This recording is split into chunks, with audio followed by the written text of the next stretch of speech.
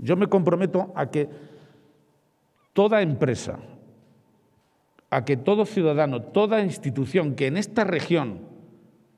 quiera emprender, quiera tirar para adelante, quiera hacer de la necesidad virtud, rehuya la resignación, el conformismo,